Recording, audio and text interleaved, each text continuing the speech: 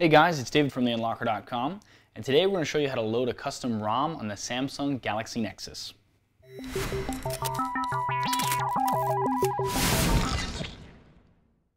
Okay, so before you begin, you must have done our how to root the Samsung Galaxy Nexus procedure. Uh, if you haven't, click on that link there to be taken to that. Fill, uh, finish that procedure completely, and then you can come back to this one to continue.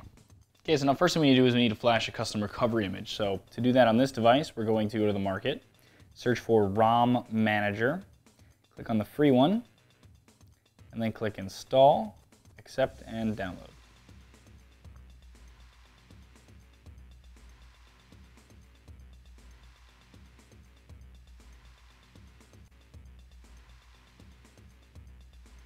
Then we can click Open,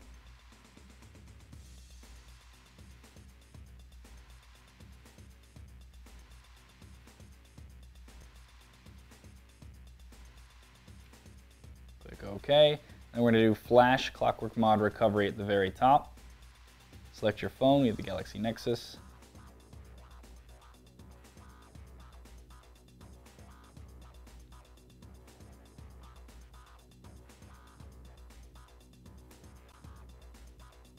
Hit Allow. Should say successfully flashed. Click OK. Okay, so now the next step uh, is to find a ROM that we want to download and install. So you're going to click on our ROM section there, link, and scroll down to your manufacturer and ultimately your device. Then click on that and then choose whichever ROM you want and then save that ROM to your computer. Okay, and while the ROM is downloading, you're gonna plug in your device via USB. Pull down the top here and just make sure it is connected as a media device. Okay, then, then we're going to open our device's internal storage on our computer, and we're also gonna find where we saved our ROM file. Make sure you leave it as a .zip file, whatever the ROM is, and we're just gonna copy it over to the root of our internal storage, which means not inside any of these folders, just on the internal storage itself. And we're gonna wait for that to transfer. And then we can unplug our device once the ROM.zip file is saved uh, to our phone. And we're gonna turn off our phone.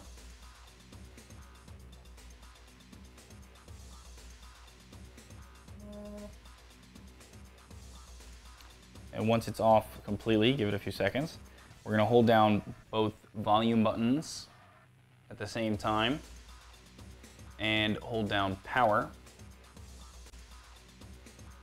so we get to our mode here. Then we're gonna use these volume buttons here to select recovery mode and hit power. And wait for it to boot into recovery mode.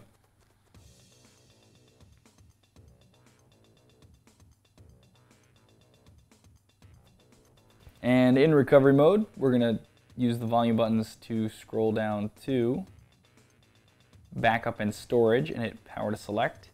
Then select backup by hitting power again and wait for it to back up your current uh, system software just in case you want to revert back to it or in case something goes wrong. Once it says backup complete, we can then go to wipe data factory reset yes. Wait for it to do that really quick. And then install zip from SD card. Choose zip from SD card, and now we're gonna select our ROM file. So I have this one here, like that, and then hit yes. And wait for it to install that.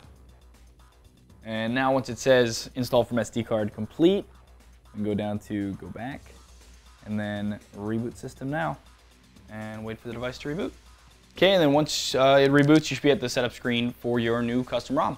Uh, if you want to load a different ROM, simply just repeat this procedure with downloading a different ROM, uh, starting at the point where it asks you to download a ROM in the procedure.